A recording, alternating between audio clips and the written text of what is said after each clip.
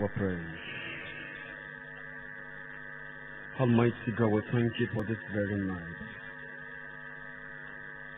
We thank you because you have occasioned such a meeting like this, that you might add value and virtue to our life. You have brought us to the place where you have made men, and today they become symbols of exploit in the different places where they find themselves. Lord, how I pray what you have done in time past, you do beyond even in our life in Jesus' name.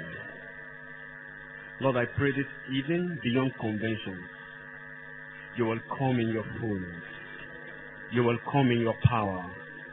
I'm trusting you tonight that Jesus only will be exalted. Jesus only will seen. Lord, I'm just a clay. I pray through this mouth you will bless your people. As we make progress, help us. Thank you, Father, for the answer. For in Jesus' mighty name we pray. Praise the Lord. As you can see from your program leaflet, I need not announce the topic again because it's right there, the workshop. I want to see how God will help us this night to learn from His Word and to see what He actually has for us. I once heard of a story, and the story I heard was this. There was this hunter. The hunter went out there to hunt. When he got there to hunt, he found an eagle. And actually, the eagle was not there, but he found, he discovered that the eagle left an egg behind, and he took that egg. And there was a chicken at home, an hen, in the process of maybe laying some eggs and the process trying to hatch, he added that egg to eat, and about in two days, that eagle also was hatched. And as the eagle was hatched out of the hen, he also moved with them, you know, as uh, one of the uh, of the hen, and moving up and down and picking, picking on the floor just like the way the chickens were picking. And one of these days, he saw an eagle in the sky that looks like him. And when he looked at that eagle, he said, ah, this thing look like me. And eventually he saw that one flying. He tried flying, he tried it a little, he discovered that he could fly. He tried a little, tried he could fly. At a point, he just tried it, eventually it left. What are we talking tonight? We are talking on the essentials of Christian workers' growth and maturity. You know, if you don't understand who you ought to be and where you ought to be with God, you will continue at the lower level and you feel you have arrived. There are many who said, I'm still very young. When people at a very tender age, they have attained so much for God. They have possessed so many kingdoms for God. And God has used them mightily and He has depended so much on them. And that's the reason why this topic we're looking at tonight is very, very pivotal, very, very central, and very, very important. Because as I look around, I discover that the age of people coming to university, very, very young, people who are tender in age, they know little or nothing about Christian growth and maturity. If you have a child, and that child is not growing, how will you feel as a father? You can't feel good and you can't feel okay. And that's the reason why every father will intend the child to grow. They have to feel the child. They have to check up. And if you are eating so much, you are learning so much, you are not growing, then there's a problem. In Second Peter chapter 3, Second Peter chapter 3 and in verse 18. Second Peter chapter 3 verse 18. It said, but grow in grace. But grow in grace and in the knowledge of our Lord and Savior Jesus Christ. To him the glory both now and forever. And the church shall say, it said, grow in grace. It's like Peter was admonishing Christian workers. He was admonishing saints, not, not unbelievers now. He was talking about people who already have grace in their lives. That's not Bible put it this way. He said, Of his fullness have we received. He said, grace for grace. You exchange your smaller grace for greater grace. Now he said, grow in grace. If you look at that word growth, if you go back to biology, biology talks about an increase in size, an irreversible increase in size. If you talk about growth, growth is like you are making progress. If you talk about growth, you are getting to understand better what is necessary. And as you look at that word maturity, it means you are fully grown. You have, you, have, you have come into a fuller understanding, a better understanding of what life is all about, of what the Christian faith is all about. That's all it entails. As Peter points our attention, there are three things I want to point your attention to as we talk about growth. Number one, we talk about fellowship with God. There is the need, if we must grow, we must grow in fellowship. Fellowship with the Almighty God. Because in First John, look at what the uh, one of the apostles said in First John chapter 1 and in verse 3. First John chapter 1 verse 3. The Bible says, It said, That which we have seen and heard declare we unto you, that ye also may have what? Fellowship with us. And truly our fellowship with the Father and with His Son, Jesus Christ. We have fellowship one to another. That's not enough. There's a fellowship with the Almighty God. And that's the reason why you must understand something. That they talk about the Christian race. You know, at times it takes two for a fellowship to be established. It takes just one in agreement, the other one not in agreement, you just have peace. There won't be fellowship. It's just like this. If you come and meet us, we say don't do this, we say do this. If you don't accept to do what we ask you to do, what we only are for peace to reign, may just endure, may just get together. But for fellowship to be, you must agree with what we are saying because we're in agreement. That's only what informs fellowship. The same thing with the Almighty God. If there was a fellowship with the Almighty God, it then means what the scripture has said, what God has accepted. You must accept it as God has accepted so that there can be fellowship. So we need to grow in our fellowship with God. Number two, our faithfulness to God in Numbers chapter 12. I love that verse so much. I quote it many times. Numbers chapter 12. In Numbers chapter 12, there is a man called Moses. Look at what the scripture says. In Numbers 12, verse 3. Numbers 12, verse 3. It says, Now, the man Moses was very meek above all the men which were upon the face of the earth. The man Moses was very meek above all men which were upon the face of the earth. Now let's read on in verse 4. And the Lord spake suddenly unto Moses and unto Aaron and unto Miriam, Come, come out, ye three, unto the tabernacle of the congregation. And they three came out. If you come to verse, come to verse 1, in verse 1 it says, And Miriam and Aaron spake against Moses, because the Ethiopian woman whom he had married, for he had married an Ethiopian woman. Verse 2. And they said, Had the Lord indeed spoken only by Moses? Has he not spoken also by us? And the Lord had it. Praise the Lord. And the Lord did what? And the Lord had it. Now, verse 3. The comment of the Lord is what came forth. It said in verse 3, Now the man Moses was very meek above all men which were upon the face of the earth. That was the testimony of God. Look at verse 7. Verse 7 now says, But he said, My servant Moses is not so, who is faithful in all my heart. But my servant Moses is not so. Miriam and Aaron ganged up against Moses, but God had a testimony about Moses. If you have to assess your spiritual life, if you have to assess what God has committed into your hands, can God say boldly, my servant so and so, if we has placed him to operate, if he has placed him to walk, is faithful in all my house. If God cannot say that about you, then there's a problem. And that's the reason why we have to put it in place. No wonder the apostle, uh, the apostle said, but grow in grace. I know as the grace of God comes into our life, we get to understand what fellowship is all about, what faithfulness is all about. Not only that, number three, it talks about a followership of God's appointed leaders. That's what grace can do. That's what grace can help us achieve. And Paul the apostle said something in 1 Corinthians chapter 11. 1 Corinthians chapter 11. In 1 Corinthians chapter 11, look at what it says. 1 Corinthians chapter 11 verse 1. It says, But be ye followers of me, even as what? As I also I am of Christ. You must understand that the people God has placed above you to oversee its work. To like check up some things, to make sure things are done the way they ought to be done. They are not people that just came on their own volition. It was because God saw something in them, and there's a need for confidence in your leaders. There's a need for confidence upon God appointed leaders. Because if that is not done, it's only showing the trait of immaturity. It's only showing the case of people who don't even understand why they're even under people. You know, when they give instruction and you don't keep to that instruction, it only reveals that you're not mature. It only reveals that you are far from the truth. It only reveals that you are far from God's will. It only reveals that you are still a baby. And how long shall we remain babies? How long shall we still remain like children? And God is saying, I want them to grow. I want them to understand me better.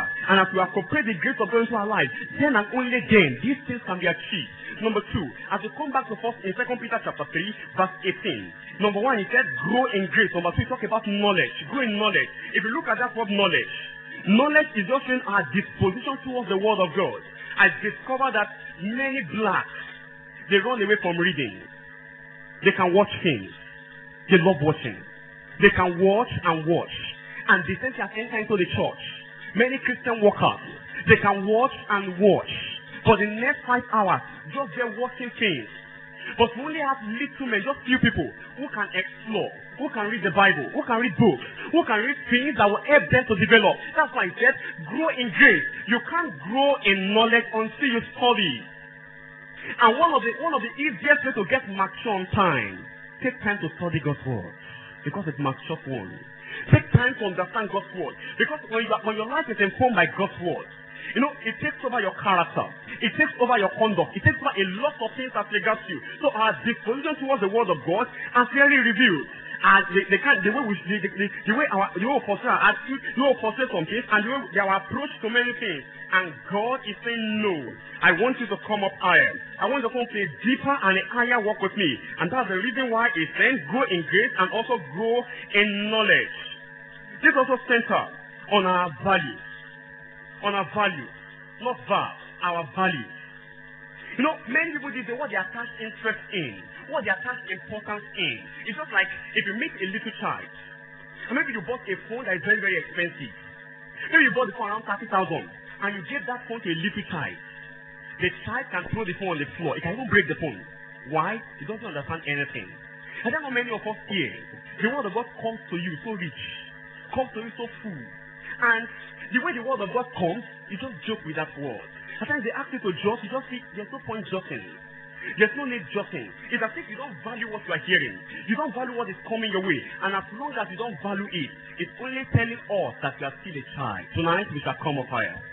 I say we shall come up higher. And we ought to know that as you look at God's word, you cannot be higher than what you know. You cannot live above what you know. The life you display, the character you display is a function of the amount of God's word that dwells in you. If you have little of God's word, you act that little. If you have more, you ask that you ask more of it. Whatever quantity and whatever the content of God's word you have, display your conduct. And that's why you see there are, there are about seven things I'm pointing your attention to. That the word of God, you know, at times you just have to find a practical application in our life. But if it's not, there are seven things. Number one, our communion. Number two, our conversation. Number three, our courtesy. Number four, our condescending. Number five, our consecration. Number six, our commitment. Number seven, we're talking about our communication. Number one, we talk about our communion. I want to put before you walk out. What do you pray about? And what do you pray often about? In your quiet time, what's the content of your prayer? There are people who spend a whole lot of time. What they are just interested in is demons. You can't grow because your interest is the devil. And as long as you are binding the devil, forgetting that there's a greater God, there's a higher God. Today you bind, tomorrow you bind, next tomorrow, all the time just binding and binding and binding. Can such a person grow? I said no. You just be stunted. You will lack basic knowledge. You lack understanding you ought to have asked. And some was their prayer point. Oh Lord, you must just bless me. Today they pray for first class tomorrow, and that's just it. And that's it's like that's the only prayer point they have. Anytime they kneel to pray, that same thing. And what they are praying for is just of earthly value. It has no internal value. God make me this. God make me that. And that's the only prayer. When you talk about prayers of death, prayers of devotion, prayers of commitment, prayers of higher height and higher ground, those things are missing. And as long as those things are missing, You talk about holiness, it becomes difficult to live. In fact, somebody once told me some years back that there's no point praying for holiness. That there's no point. Why are you wasting your time praying for holiness? And then look at him. Do you know that in just less than few months' time, he was drinking immorality like water? That is it.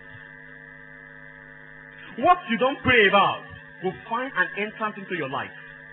And that's the reason why. You take what the Bible takes so serious and pray over it. What is important? What matter most? That's why you know a Christian is mature. It doesn't play with the nitty-gritty of what matter most. You know, at times we measure so much on the minor and we minor so much on the major. What is the major thing that in prayer? Look at what, what, what Jesus told his disciples. When they came to him, he said, teach us how to pray. In Matthew chapter 5, Matthew chapter 5, verse 13. In Matthew chapter 5, verse 13, look at the word of Christ. Matthew 5.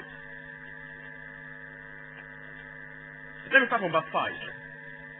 Matthew 6 rather, from verse 5. It says from verse 5, And when thou prayest, thou shalt not be as the hypocrites are. For they love to pray standing in the synagogue and the corner of the street. So we have to address something here in this verse. Know, we are talking about conviction. And as we talk about that word conviction, conviction is that which is cemented with your conscience. If you are to toy with your conviction, it means you want to toy with your conscience.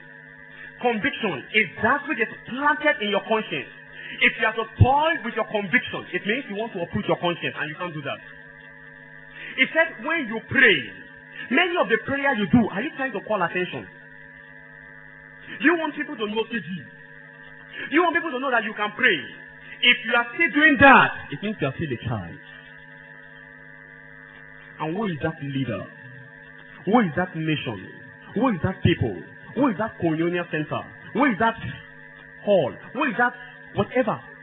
Whose leader is a king? I mean, whose leader is a child? Whose king is a child? Will not be children. I said will not be children. God will take us higher. Now in verse 6. Now he said in verse 6. But thou, when thou prayest, the first conviction he gave was for the world, the hypocrite. That's how they pray. They want to be noticed, they want to be known. But he said, But thou, when thou prayest, enter into thy closet, and when thou hast shut thy door, pray to thy Father which is in, in secret, and thy Father which seeth in secret shall reward you what? But when ye pray, use not vain repetition. When you pray, use no vain repetition. When you talk about vain repetition, it's like this. What the scripture has said. You know what scripture says? Says, am I correct? Now, it's, at times, there are times people want to bribe God with their life. They want to bribe God with the multitude of their acting. And when I mean acting now, they are not living right, but they feel as I talk to God more, God will have to change his mind. No, it doesn't work that way. If you trust God and you have faith and you pray in accordance with the scripture, you know, when you are using very repetition, it's like you are praying outside the scripture. And whenever you pray outside the scripture, it's not recognized. Because prayer ought to be in accordance with God's will. He said, pray and you have no answer. Why? Because you pray and meet. We shall not pray and. Now in verse 7, come to verse 7, he said, But when ye pray, use not vain repetition as the heathen do. The heathen, they are not living right. They want to bribe God. Say, God, you must bless me. The man is not living right. The man is still committing sin. He's still living some life that ought not to be. And that man is like, when I when I keep on repeating myself, God is going to answer. It doesn't work that way. That's what scripture is saying. He said, don't pray like them because that's what they do. They want to bribe God. Bribe God with their action. Bribe God with their continual acting. There's importunity in prayer as the saints. You can do that. And God also recognized that. Now let's read on. Now it said, as the heathen do, for they think that they shall be far for their much sake in verse 8. Be not therefore like unto them, for your father knoweth what things ye have. Ye have need of it before ye ask him. Now verse 9. After this manner therefore pray. Our what? Our Father which art in heaven, hallowed be thy name. It's revealing the content of prayer that you kneel to pray, Our Father, you hallow God, you honor God, He says, Father, I thank you because of who you are. You are great, you are mighty. Now he went further. Now he said in verse, in verse 10, Thy kingdom come, thy will be done on earth. You know the meaning of that? Thy kingdom come. Do you know that the Bible says the kingdom of God lies within you, isn't it? Now he said, pray that the kingdom of God will come. In other words, the life that is practicable in heaven, the life that is expected in heaven, that God will so help you to live that life. It's telling you the kind of the kind of prayer you should pray. That thy kingdom come. In other words, experiencing a glimpse of the light of heaven. I read. Experiencing a glimpse of the light that is above. But many of us when we pray, we pray, some of our prayers are far from this thing. Where are the days that men will cry, Lord, I want to be like thee. Lord, I long to be like thee. And these days men are carried away. It's only showing how how empty, how shallow, and how immature we are. How, how I'm praying that God will take us to that mature point. So that we know what matters most and we pray them in. Now in verse 13, now it said, and lead us not into temptation, but deliver us from evil. For thine is the kingdom and the power and the glory forever. Number two, our conversation. This has to do with our conduct, our behavior to co-workers, how we interact with ourselves, how we talk to ourselves, and God-given leaders, and our manner of life. Look at it in 1 Timothy chapter, in 1 Timothy chapter 4, verse 12. The scripture says, Let no man despise thy youth, but be thou an example of the believer. It said in words, in conversation. In words, and in what? Conversation. Be thou an example of a believer. You know, there are times when you talk to your leaders, I discover that a lot, and I just keep quiet. That somebody will be asking you, How are you? in the presence of other people. It's like you met the general coordinator and said, GC, how are you? In the presence of everybody. Yes, you might be close. Yes, you might be friends. You can you, you, you, you can do that. Maybe you may allow that. Maybe when you meet in the closet. But in the presence of other people, you are watching your leader down. You are bringing him down. And if you don't respect your leaders, others will not. Others will not. And once people don't respect leadership, then what we are trying to pass across, what we are trying to communicate will not work. And that is only revealing how childish we are. What should be our manner of life? Let's go back to the Bible. Let's stay where the Bible wants us to stay. And let's oppose the lifestyle of the scripture. And let's allow the lifestyle to be great in our life. Look at what the Bible says in Psalm 50. In Psalm 50 verse 23. Psalm 50 verse 23.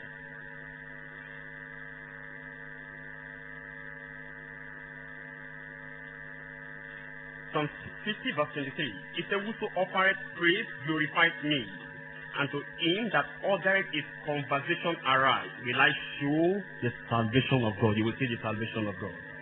Only order your conversation aright. Number three, we talk about courtesy. That is respect for one another. And if you look at 1 Peter chapter 3, 1 Peter chapter 3, very quickly, chapter 3 verse 8, 1 Peter 3 verse 8, our respect for one another. Let there be courtesy. Let there be courtesy. 1 Peter chapter 3. In 1 Peter chapter 3 verse 8. 3 verse 8. It says, Finally, be ye all of one mind, having compassion one of another, love as brethren, the pitiful, the what? Courteous. Let's be courteous. Courteous in the way we greet. Courteous in the way we talk. You know, at times I see some sisters, and you greet them from afar, they wave you. The thing you must understand is this. Whoever God has placed here as your leader, you must know something. That they are not here because they want to be here. They are here because God has allowed it. And you must also know they are like your pastor. They are your pastor. And if you are waving me, I'm feeling like you are waving me. One of these days you will wave the RC. That's it. That's how it goes. And it's only showing how immature we are. We have to desist from that. God will help us. I said God will help us. I said the Almighty God will help us in Jesus' name. Our condescending, talking about submission and humility. No matter the level of leadership we have gotten to, no matter how God has helped us to grow, no matter the point God has helped us to achieve, there's a need for condescending. You come to the level of God that we can help them. We come to the understanding of people. In Romans chapter 12, verse 16, the Bible puts it this way. In Romans 12, verse 16. In Romans chapter 12, look at what Paul says. Romans chapter 12, verse 16. In verse 16, it says, Be of the same mind one towards another. Mind not high things, that is, come down. But condescend to men of low state. Don't feel I'm now this, I should be up. No. Come down to the level of people. In relationship, be friendly. In relationship, come down, but in knowledge be higher than the people. Now it said, come down. It said, condescend to men of low estate. Be not wise in your own conceit. Don't be wise in your own conceit. Just come down, just condescend. We brought nothing to this, but we shall take nothing out, isn't it? At times when people try to place themselves up, they even lose more respect. When people come down, times they gain more because when you make mistake, may like correct you. And when the correction is done, the person gets to understand and life goes on. And that is it. We condescend to men of low estate so that we can make progress in our Christian race. Number five, our consecration. This has to do with our devotion, our separation, and our dedication to the Almighty God. Romans chapter 12, verse 1. If I beseech you therefore, brethren, by the mercies of God, that you present your bodies a living sacrifice, holy, acceptable unto God, which is your what? I beseech you therefore, brethren, that he presents your body. That's consecration. You know, at times people say, My life is my life. Your life is not yours. The very day you gave your life to Christ, you have signed it off. Now you must also know that you have gone a step higher. What's a step higher? Of being called a worker. So your life is not yours. That's why it said, it says, I beseech you therefore, brethren, by the mercies of God, that he presents your body a living sacrifice. You know when you say something is a living sacrifice, you lay it upon the altar. It has no choice of its own. It's whatever the it's whatever God says that it does. It's like you bring you bring you bring an animal for a sacrifice to Aaron. And when you brought the animal, and Aaron, maybe Aaron kills the animal and he presents before the altar. Whatever he wants to do with, the animal, the animal cannot say, don't do it. The same thing. Whatever God wants to do with your life, you can't tell God no. And that's why whatever He has called you into, your duty post, whatever He has called you to, whatever is requesting from you, you just have to do why? Because He said that He presents your body a living sacrifice. Number six, our commitment. Our commitment to the service of God. You know, when you serve other men, you are serving God. John 13 said, He that serveth me, him will my Father honor, God will honor you. You know, as if, as if, as God help us to serve, to serve men, as God help us to serve Him in helping men, men to know God, helping combat, combat to grow in Christ, helping combat to come to that full understanding and that full knowledge of what Christ has come to offer, then and only then can God be honored in our life. And finally, our communication. In Galatians chapter 6, Galatians chapter 6. In Galatians chapter 6, verse 1. Galatians chapter 6. Verse 6 rather. In Galatians 6, verse 6.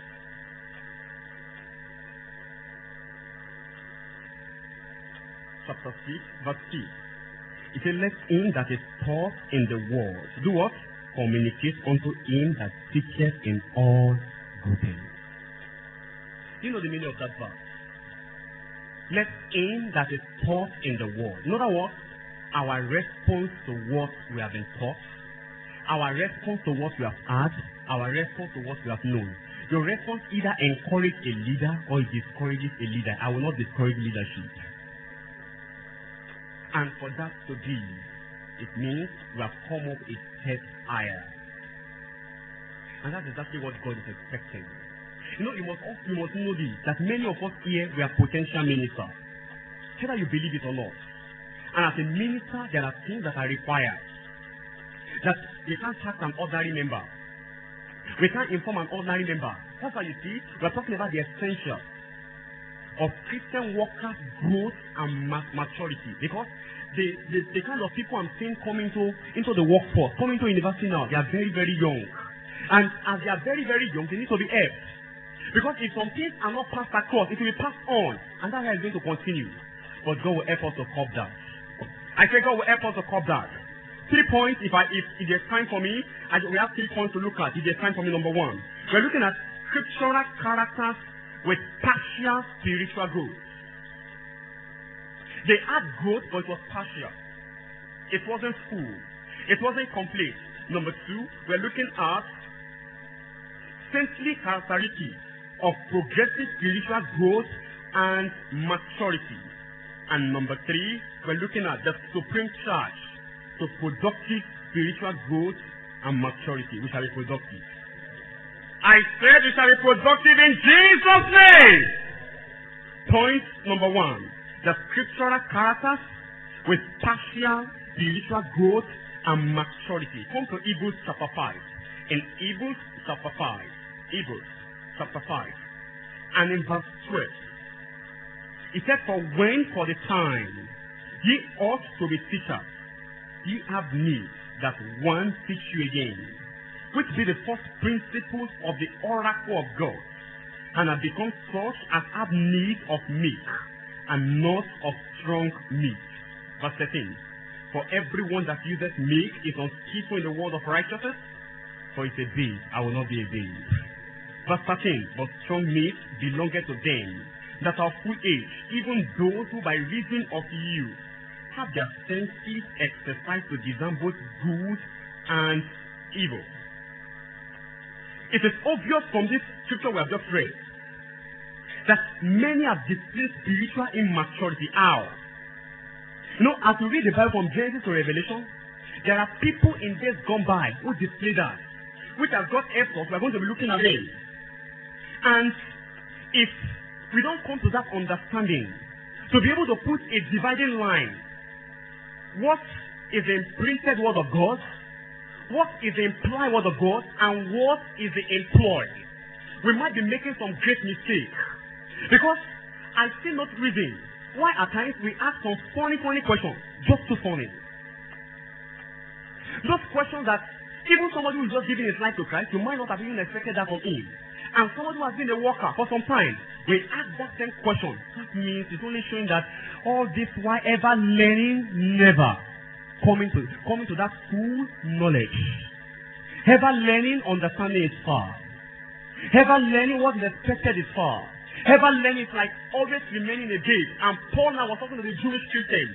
And he said, at this point, that you yourself, you ought to have become teachers. You have need that somebody still need to be teaching you that this is what you ought to do. This is what you ought not to do. If we all do what we ought to do, there won't be all these corrections and corrections. Why? It is because we are we have not been able to do what we ought to do. Why? It is just because we are not mature.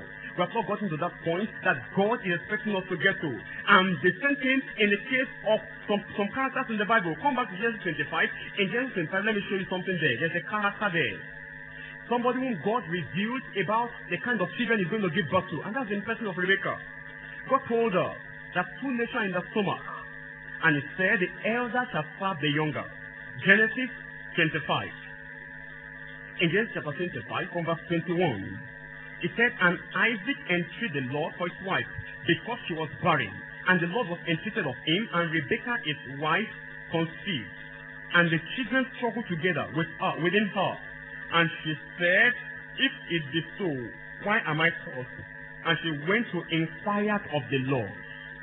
She went to inquire of the Lord. Now, let's read on. She went to inquire of the Lord, and the Lord said unto her, Two nations are in the womb, and two manners of people shall be separated from thy bowels.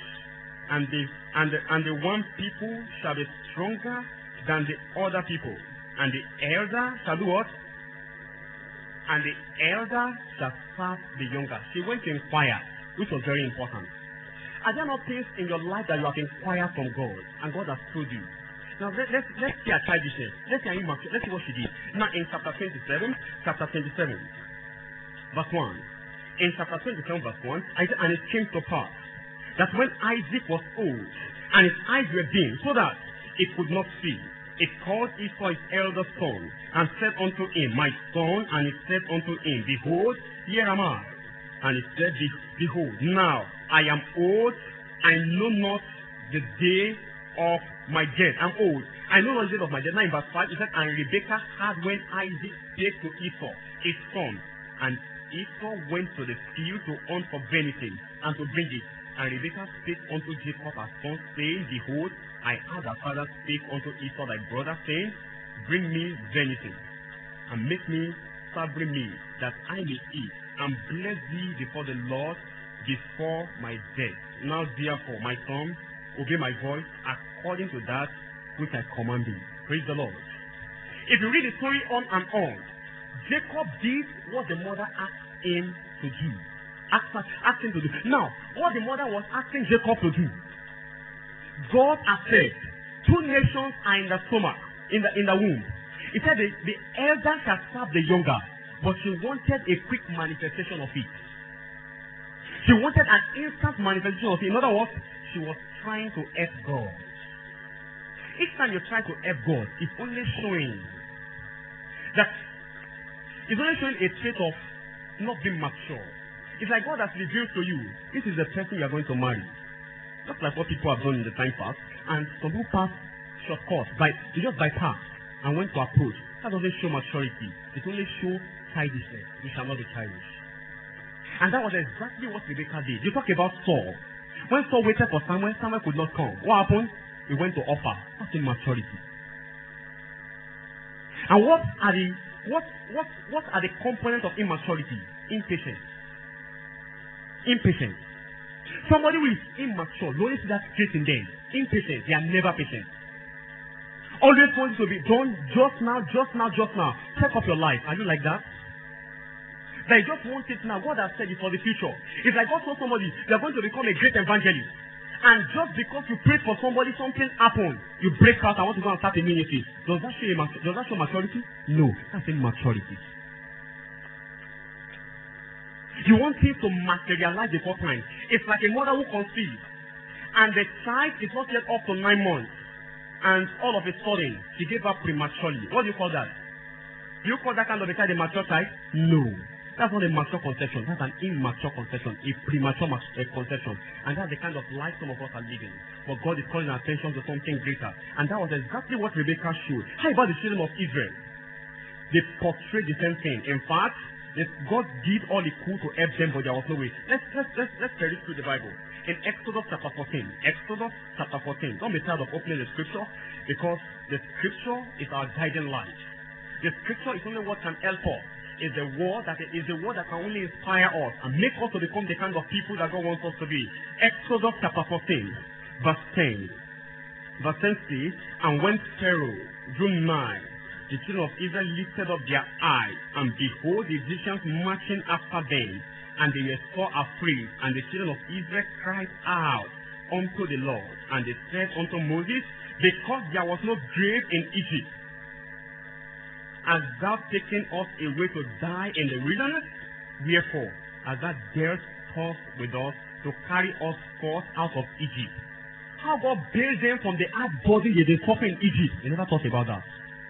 You know, at times when challenges come our way, what's your disposition? This workforce, I'm tired. This work of God, I'm tired. I'm going to backslide. I'm going to leave God. It's only showing you're still a child. You're still a child.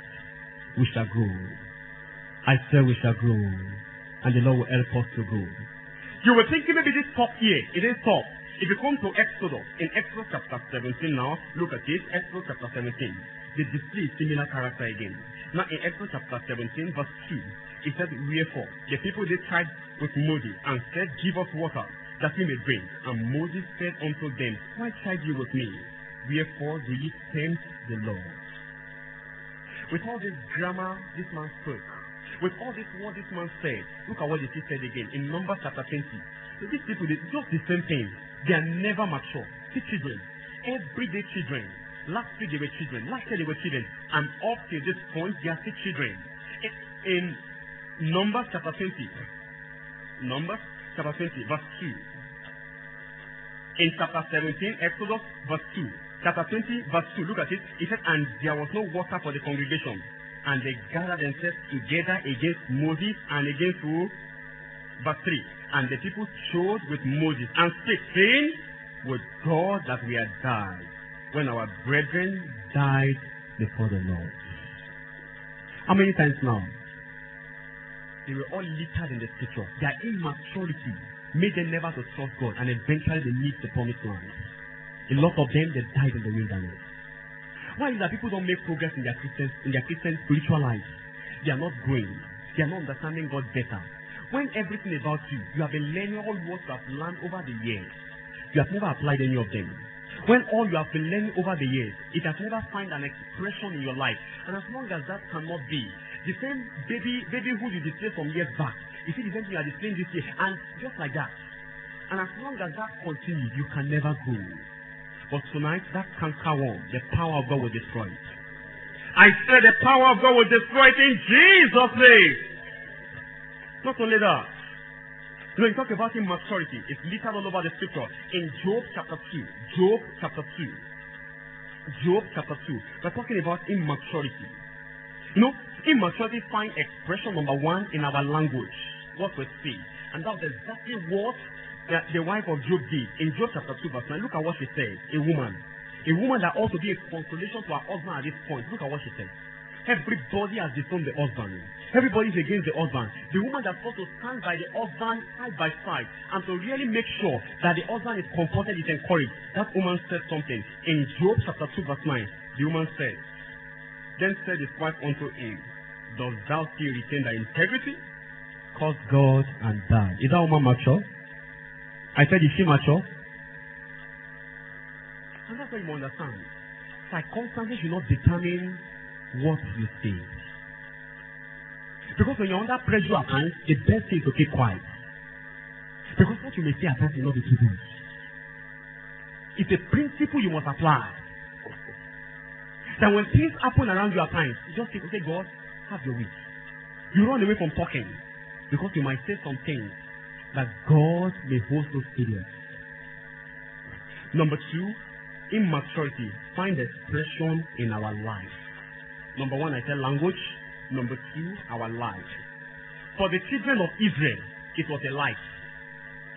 Why did I say it's a light? They did it the first time, they were corrected. They persisted. They did it the second time, they were corrected. They persisted. The third time, until eventually it caused them the promised land.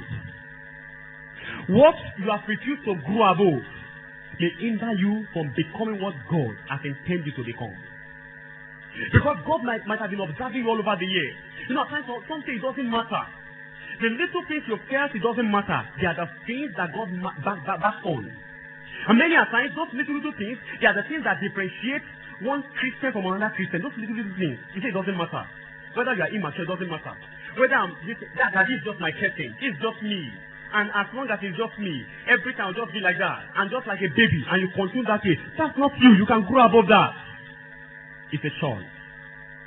Number one, I say language. Number two, a life. Number three, it eventually became a legacy. What can you say about them now? The children of Israel you have read about. Is that the moment? Is that true unbelief? They never got into the what? Canaan. Why? They have left a legacy behind. I ask you a big question. By the time your generation will be leaving this place, what will it be said of you? A babyish Christian? A childish Christian? And that's the reason why you must count the cost. That's the reason why you must not just remain a baby. Because if you remain a baby, you will miss many things. Many, many things. Many, many things. And the disciples of Christ, as they were growing, they also displayed that. Come to the New Testament. In Mark chapter 9. Mark chapter 9. Mark chapter 9, verse 33. In Mark 9, verse 33.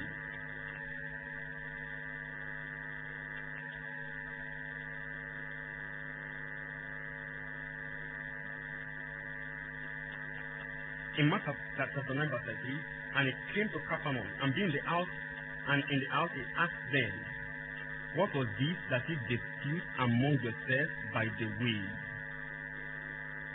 What is it disputing? Verse 34, But they held their peace, for by the way they are disputed among themselves, who should be the what? Greatest. Who should be the greatest? The honor God has placed above you God did that for a purpose. Stop those questions you've been asking. They are uncalled for.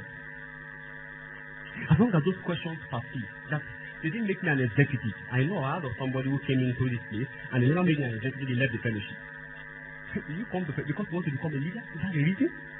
that's only showing that this person is not mature. He has been falling all the way. He's not mature. And that's a problem with some people. They are thinking, who should be the greatest among all? Position.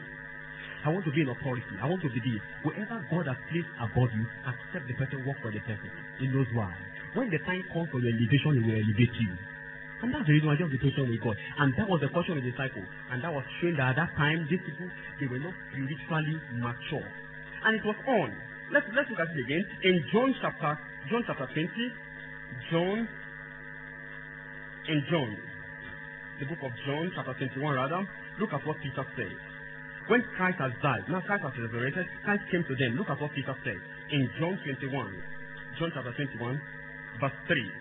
Simon Peter said unto them, I go a fishing. This man doesn't understand. He said, Follow me, for I will make you fishers of men. The man doesn't understand.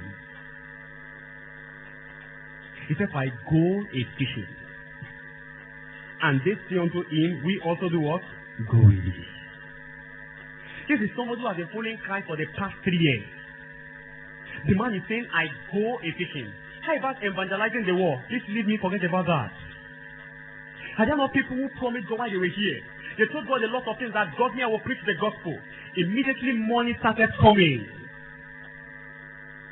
Immediately challenges of life started coming. They said this gospel, forget about it.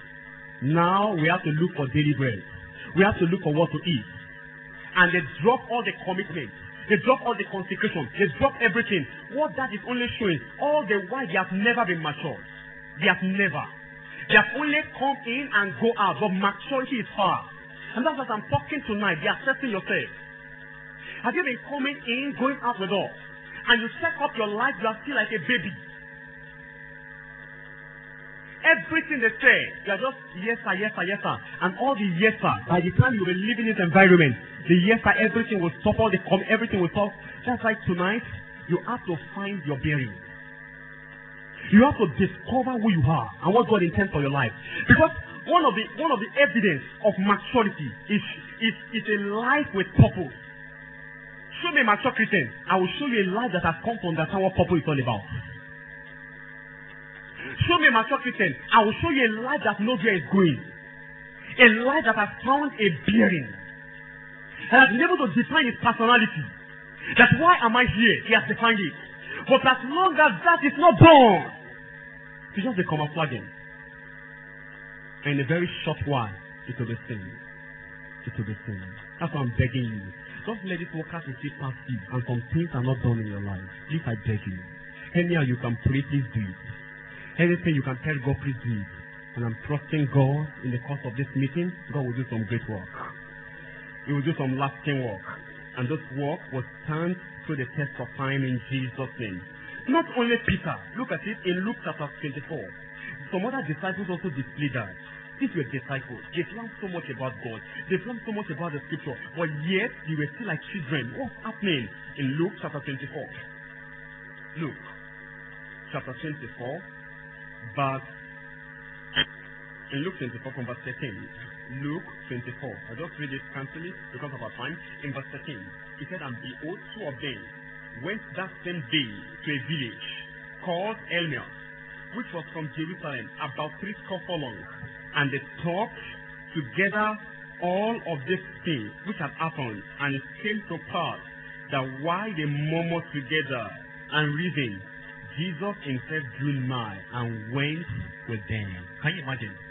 Jesus in your midst, you never knew Christ. Jesus in your midst, you never understood it was Christ. And they were walking with Christ. Ever learning, never coming to that knowledge of understanding. Is that your case? Is that your key? I pray tonight, God will open our eyes to see better.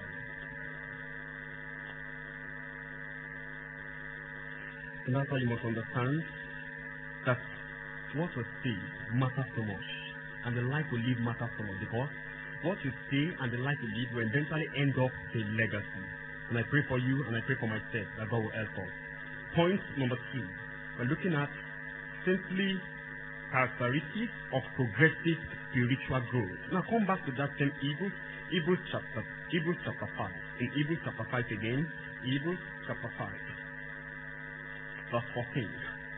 Hebrews 5, verse 14. Verse 14 says, For strong meat belongeth to them that are of what? Full age.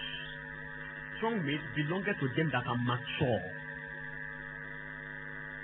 The reason why at times people hear the, God, the, the word of God, they're unable to comprehend that word and apply the word. It's like the word is higher than them.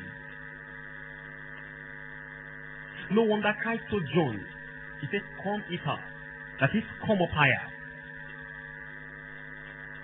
You have to come up higher in studying God's word. You have to come up higher in understanding God's word. Because if we don't come up higher, there are some things we hear they are too hard to swallow. Of the times you have to pray, God, give me a large heart. A large heart. He said, they that are, that are of full age. He said, but strong meat belongeth to them that are of full age. Strong meat is, is like an emblem of the word of God. I'm talking about deeper revelations that are coming out of the word of God. It's like things that are hidden and as God help the minister, as you begin to dissect scripture, you are getting light and revelation in that direction. For that to become a reality in your life, you must have come to a full age. In other words, you must have been fully grown. You must have been matured. That's why I said, full meat. I mean, full, uh, it's, it's, it's a strong to them that are full age. Who by reason of use, you know, as they read the word of God every day, as they are being inspired by the word of God every day, they have their senses exercised to design. They are able to design what is employed. They are able to design what is imprinted. They are able to design what is implied. They are able to design what matter most. Why? Because their senses, they haven't been exercised. How do they get exercised? They get exercised by studying God's word. And as you give yourself to God's word, because the secret of knowing more about God is to go back to the scripture. The secret of becoming what God wants you to be is to eat more of the scripture. Look at the child that is giving birth to, and the child is not well fed. What will happen to the child? You just see some symptoms around the child. You'll be wondering, why is the child like this? It is because it's not well fed.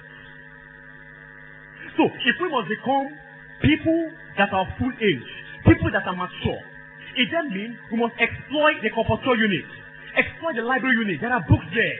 Where are days that men will take books and they will read and read and say, God, this thing must be applicable in my life. It must come to my life. Where are those days? Those days are gone. No wonder. That family, family Christians, we have people who are like they're thirsty. We have people who are like they're just moving up and down. They're not really well fed. It's that they're, un- they're hungry. When last did you pick your jotter and what you have been taught from the scripture, what you have been taught in the, in the message, and you pick those things and you're going, you're going over it? When last? We just write and keep them and we keep them and keep them, we never make reference to them. How are we going to grow? And no wonder, simply characteristics of, of progressive spiritual growth. It's a progressive work that God can do, that only Him can do. We have a part to play, and God has a part to play. No wonder 2 Timothy chapter 2 verse 18 says, Study to show thyself approved unto God. He said a workman that didn't know to be ashamed, or rightly dividing the word of truth. That is it. Study there's a need to study. The secret to combat what this age is becoming is that we have to study. The secret to get mature on time is to study. Are there not people they talk? They even talk about their age. You'll be wondering why they are studying. In fact, there's somebody I met on, in this fellowship and about three or four years older than him. Maybe two or three. And this person, when he speaks, you're like, ah, ah. Why? He has read. And someone could devote his money to buy books I mean books. Because you know, when you study, you travel farther than your mates. And you go far, far. When you talk, you talk with knowledge. When you talk, you talk with understanding. A progressive Christian life is a life of studying. You study God's word. You give yourself to the fullness of God's word. And that's exactly what God is expecting from us. It is quite painful that the believer is not growing quite, quite painful. Very, very painful. That things you struggle with many years ago, there are still things you are battling with. And how then can we grow? In spirituality and in maturity. The following will help us to attain that desired spiritual growth and maturity that God intends for. Number one, yield yourself to God, to the study of God's word and meditation in His word. I've taken that one already. Number two, always be ready to learn. Ready to what? Learn. Listen, nobody is a monopoly of knowledge. We are all learning. No matter the points you have gotten to, we are still what? We are still learning. I can't lock myself to have apprehended for this one thing and two. Four. See, I'm pressing on. As long as you are still putting on this flesh, you keep learning. Look at what Christ says in Matthew 11. Matthew chapter 11. That's the admonition that Christ gives us. There are people that want to learn. These days, people are, people are just interested in getting knowledge. Only few are ready to learn. They are only, when you are hearing a message, you'll be thinking of what you want to go and preach. You are not thinking of the practical application to your life. It's what you go and tell others that is important to you. There's a soul that must not lose, and that's your soul. People are concerned so much about others and never concerned about their life, try and check up their spiritual life. They never grow because their interest is in others. It's like a father that refuses to feed his own children and is feeding people outside. When the children depart, and the same thing. That's the reason why you must feed your spiritual life. Look at it in in uh, Matthew 11, verse 28. In verse 28, it says, Come unto me, all ye that labor and are heavy laden, and I will give you rest. Verse 29, Take my yoke upon you, and do what? And learn. That is it. You learn. They are correcting you is part of the learning. The second thing you are doing is wrong is part of the learning. And your response to what you have been corrected about will show whether you want to learn or not. We shall learn. I said we shall learn. But the Christians shall be ready to learn. Because those are people that God gave me. People who can learn. They can bring themselves so low that you offend somebody, you said something which was wrong, and you felt there's a need to go and correct it. You match up to the person. Don't feel too big. And you said, please, I am sorry. Let the person scold you. Let the person say whatever I want to say. Because if that is not done, it will reduce your confidence towards God. And as long as your confidence is reduced, you may not get your prayer answered. And that may hinder a lot of things. You learn. Whether the person is small, as long as on the pulpit, you want to preach, listen to the person. Don't, don't lock up. You know when people lock up at times, it's only showing they are not mature. In other words, they are selective. There's only when the GC is preaching that we listen. That's an immature Christian. We should use every avenue, every opportunity we have to learn. We shall learn. I say we shall learn in Jesus' name. Number three, you add to your faith virtues and value by praying them in. Look at Second Peter. You add to your faith. Day in, day out, you are adding. You know, as the day, as the day is drawing nigh, as the day is drawing close, you are asking yourself every day, what have I learned today? Have I learned anything today? Have anything added to my life today? You learn every day. Second Peter chapter three, chapter chapter one. In Second Peter chapter one from verse five. Second Peter chapter one, verse five.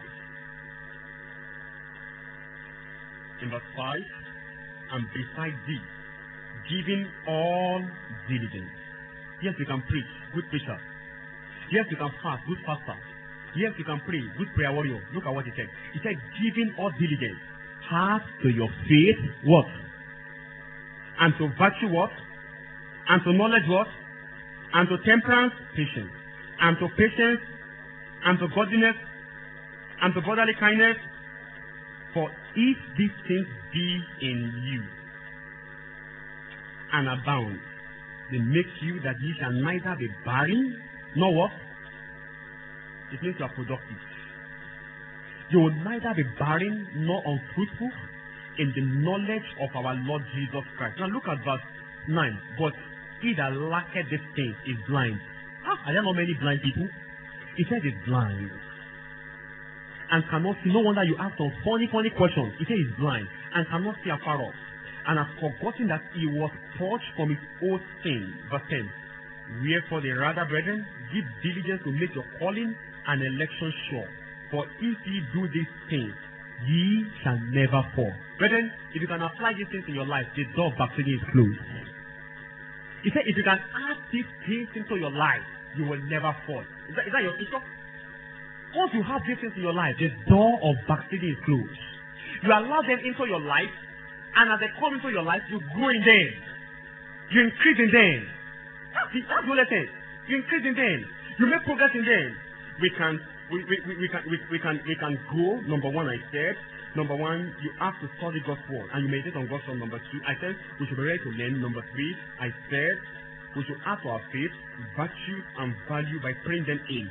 Number four now, we look unto Jesus as our model. Listen to me. There's no any perfect model anywhere, no matter how the preacher can preach. The only perfect model we have is who? Jesus. Jesus is the only perfect model we have. Every other person you see can just be a role model, but not a model. So don't see anybody say, this one is my model. No, there's nothing like that. You can have role models. You can have mentors, there's no problem. But you can't have a perfect model. That's why Bible has enjoyed, enjoyed us. In Hebrews chapter 12, verse 2, it says, looking unto Jesus, the author and the finisher of our faith. Christ should be our standard. The reason why many people are not getting mature, it is because they are comparing their life with other Christians. So look at me, I'm better than this person. I'm better than this fellow. They that compare themselves with themselves, they are not what? They are not wise. They are not wise. Because if you are comparing yourself with anybody, you can't grow above what the person has attained. In other words, the person life limits your spiritual life. The person life limits your understanding. The person is not going, you will not be going.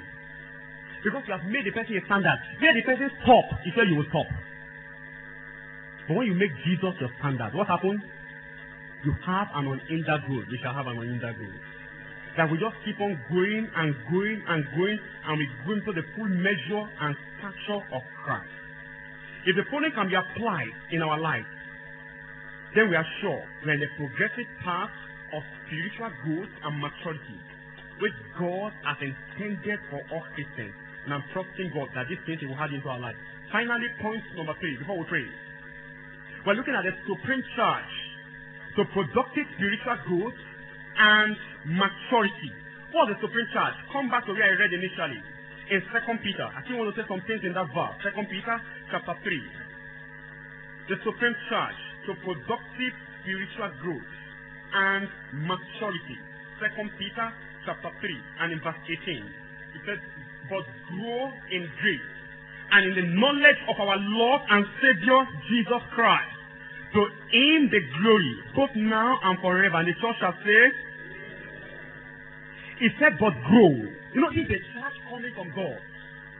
Because all scripture, we are given by the inspiration of God. He said it's profitable for doctrine, for correction, and for instruction in righteousness. You talk about the scripture. The scripture is meant to correct us. It's meant to reprove us and it's meant to instruct us so that we can become the kind of people that God wants us to be.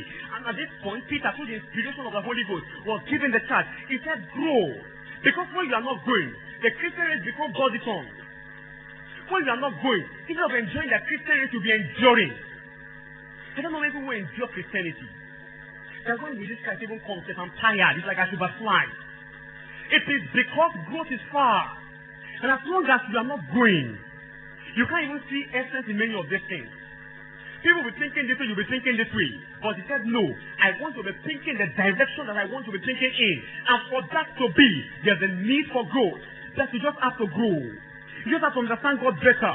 You just have to come up higher. You just have to come up to the point that God Himself has intended. And how can that be? He put in twofold. He talked about grace and he talked about knowledge in Hebrews chapter 4. Look at what he said about grace. Hebrews chapter 4. That you approach that word grace. You must understand. In verse 16, it says, Let us therefore come boldly unto the throne of grace. In other words, it is in the throne of grace that you find grace. Because there's no way you can grow except there's grace in your life. The grace at the point of salvation. The grace at the point of sanctification. Except those things in your life, there's no way you can grow. There must be some level, some measure of grace in your life because as that measure and that level of grace is there, as you come both into the throne of grace for higher grace and better grace, God supplies them. And the life becomes very easy to live. And you live out the life. Why? Because the grace is available. He said, let us come boldly unto the throne of grace. that we may obtain mercy and find grace to help in the time of need. What's the word grace? The, the word grace just simply means help. You are growing in help. You know when you talk about mercy, I don't even want to mix the two things together. That mercy and grace are they are not. Mercy has to do with the past, the sin you committed in the past. That's mercy. Mercy takes care of the past. Why grace takes care of the future? There are things that will come your way in the future. You need grace. You need help. Help to be able to live above those things. In fact, in the, in the time of Christ, Christ also had grace to live out the life. Why? Was sitting on a mortal flesh. How do I know? Luke chapter 2 and in verse 40. Look at it. In Luke chapter 2, verse 44, we'll pray now. Luke chapter 2, verse 40. In Luke 2, verse 40, you see, and the child grew and waxed strong in spirit, filled with wisdom, and the grace of God was what? Upon him. He had an all-round hope, and there was grace in his life. No wonder it was a life made easy. He was able to live out that life, and it became maturity in the fullest form. If there's any pattern you can follow, if there's any perfect model you can you can look up onto in this subject called spiritual maturity and spiritual growth, I think Christ is a perfect model. Because all around the child was. He, he was strong. He grew. He was strong in strength. He was strong in grace. And he was strong in every area and aspect. Why? He yielded himself to God. And except we do that, spiritual growth might be far.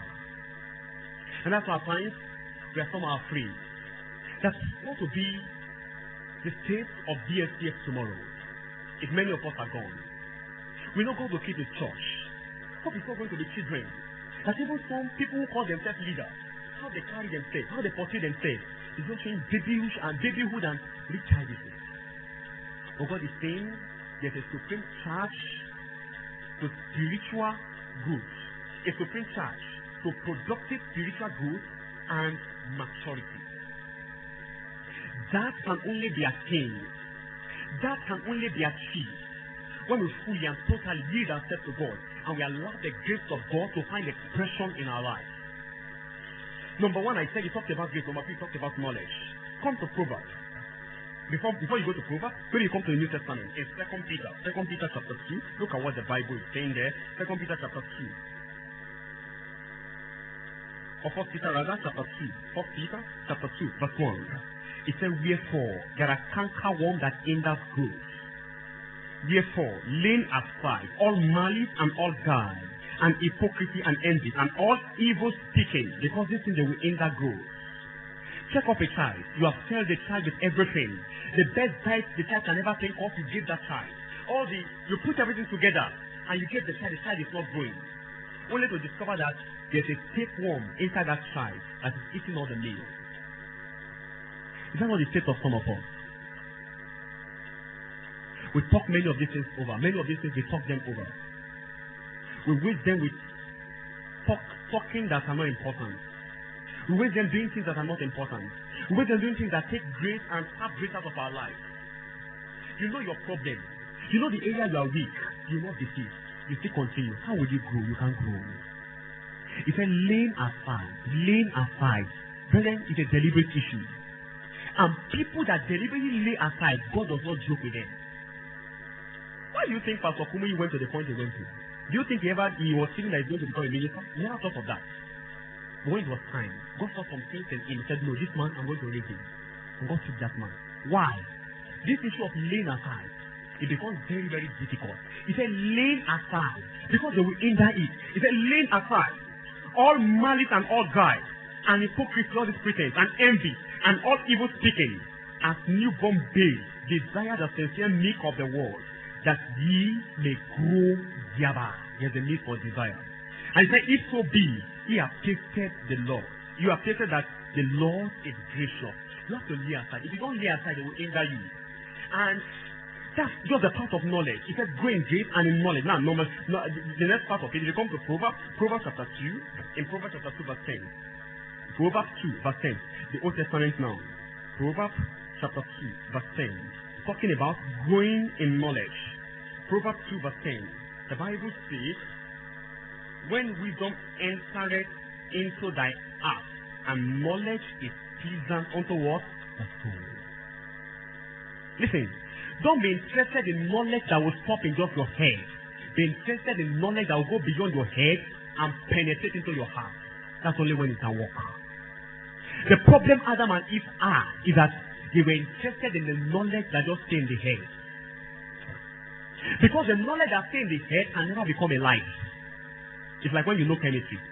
It's like when you know biology. You can teach it anytime. It's just in the head, it's not in the heart. But when you have it as a light, you can act it out.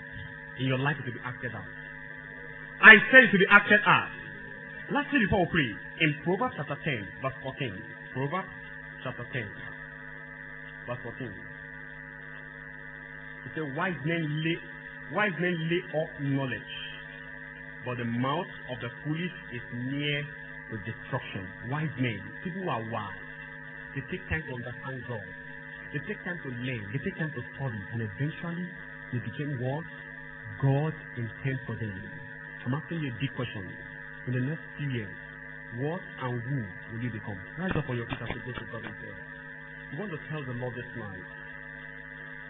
Essential of Christian workers' growth and maturity. You can assess yourself. You can assess yourself. You can assess yourself. Even in the place of prayer, times we display it in maturity. How long shall we continue with this? How long? When the master is saying, come up with a higher life, a greater life, a better life, a life that is demanded. How long? Say me, that's my testing. How long will you continue that way? You saw it in the life of the disciples. They are not displaying it just like that. Immaturity. Immaturity. Time without number. The same thing. What you have been corrected about. The same thing you will for say. You never change. Say this is me. How long will you continue? You want to beg God tonight. It's just a picture of somebody who is not mature. I'm telling God tonight that the Almighty God will mature you. Will make you a mature Christian. That is it. We lack many mature, so many Christian workers, but few mature Christian workers. But tonight you can be enrolled, you can be enlisted among those who are mature. Oh, it is because you have not found purpose for your life. It is because you have not defined why you are here. That's the reason why you are still behaving the way you behave. No wonder, no wonder, no wonder. It is because you have not found a bearing for your life. You want to beg the Lord this night, say, Father, how long will I continue? How long will I remain like this? How long, how long, how long? How long, how long, how long? Some of you, are saying four years here. Probably five years here. And you are still the way you are. Nothing has changed. Nothing is different. No value, no virtue, nothing. You are just the way you are. You also carry some years back the same way. Nothing is different. Is that you will continue? Why not beg the Lord tonight? Why not say, Father, here I am. Here I am, oh God, this is. Do upon let thou can do. Achieve only what thou can achieve. That's only, it's only God that can do it. It's only God that can do it. We are begging the Lord in the place of prayer. We're telling the Lord tonight, oh God, my Father, my life will not remain like this. In this I'm going to remain. Every day, still a child. Still a child. Still a child. Not portraying the, the Christ-like character. You talk about custody, you are not there. What do you pray about? Binding? Losing? What do you pray about? What are the contents of your prayer point? Prosperity? What are the contents of your prayer point? I'll make I'll make class. I'll become this. I'll become that. Is that just all? That's just all you know how to pray about. That's only showing the picture that you are still immature. But tonight, you can change your name from an immature Christian to a mature Christian. How do you undo matters, situation of life, when you check some results at and you see you didn't do well, don't you abuse God? Don't you do some things after all this effort? Look at what God gave me. It's only showing you are not mature. How long will you continue? When your own rep corrects you, when your own rep rebukes you, what is your disposition? What is, how, how, how do you portray yourself? How? Tell the Lord in the place of prayer. You are begging the Lord tonight, Father, mature me. A communication, a conversation, a manner of life. Manner of life. A courtesy. Are you polite? Are you courteous enough? Do you respect elders? Do you respect leaders? Do you, respect people who God has above you. Do you give them the needed respect? You're condescending. Do you come to the level of men? Leaders here, do you come to the level of men? Do you come down to the level of people? Don't you feel you have arrived when you're going to that point? You're telling the Lord, say, Father, break me. Make me the kind of person you want me to be. Our consecration. Are you consecrated? Oh, I beseech you therefore, brethren, by the mercies of God, that you present your body a living sacrifice, holy and acceptable unto God. Where are the days? Where are the days that men will present themselves? Where the men will lay up their life upon the altar. They can start lecture because of God. They can serve because of the will of God, they can cancel, and yet they will not pray. That's what God can do. Consecration is gone. It's become the thing of the past. Oh my God. A commitment. Are you committed? Are you your duty? Are you where God wants you to be? A communication to what you have been told. What has always been your response? Spreading all this hypocrisy, let's it. Enough of all this pretense. Enough, enough, enough, enough, enough. Enough, enough, enough is enough. Enough is enough. Enough is enough. It's only men of understanding that can pray this kind of prayer. Immature Christian cannot pray. It's not possible. Because he- what is he even saying? What, what, are they, what are you talking about? I don't even understand. You can't understand. Oh, strong we belong to them at our full age. Oh, have you come to that full age? Co-workers, leaders, have you come to that age? It is strong meat belongeth to them that are age. Oh, who by reason of it have exercised their sense of discern, both good and evil, it belongeth to men of age. So begging the Lord, tell the Lord, tell the Lord, woe is that congregation, woe is that assembly, woe is that colonial center, whose king is a child, whose leader is a child. Leaders here, you know what I'm talking about, check up. You want to beg God tonight that God will add some things into your life. Yes, it might be a vacuum for some time now. The Lord can fill up that vacuum. Who told you it cannot be filled up? It can be filled up. It can be filled up in the place of prayer. It can be addressed in the place of prayer. This needs to be addressed in the cancer one. Oh, and it's already growing. It's already growing. It's already finding entrance and finding baby ways in our life. And no wonder many of us are becoming baby, baby. Just baby, just baby. Ever learning, ever learning, ever learning, ever learning.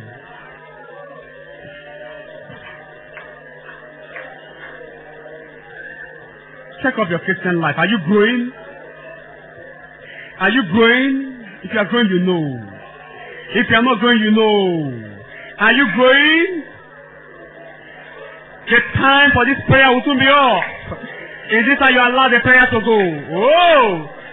Is this how you allow it to go? If some men in days gone by praise, I don't think they would have had what they had.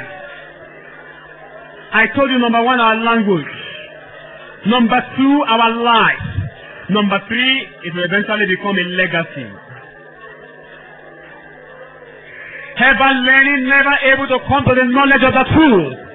Ever learning, ever learning, ever learning. Yesterday you were a child. Today you are a child. Tomorrow again you will still remain a child. Why not pray that childishness off? Lord, every trait of childishness. Some people who just came to the faith after a short while, they are growing. They are understanding God better. Tell the Lord, tell the Lord, tell the Lord. Don't be tired. It's time to pray. It's time to get something for your life.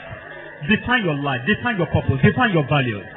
Define your life. Define it. Define it, my friends. It's mature Christians that know where they are going. Beg the Lord, beg the Lord, beg the Lord, beg the Lord. It's necessary. It's important. Beg the Lord.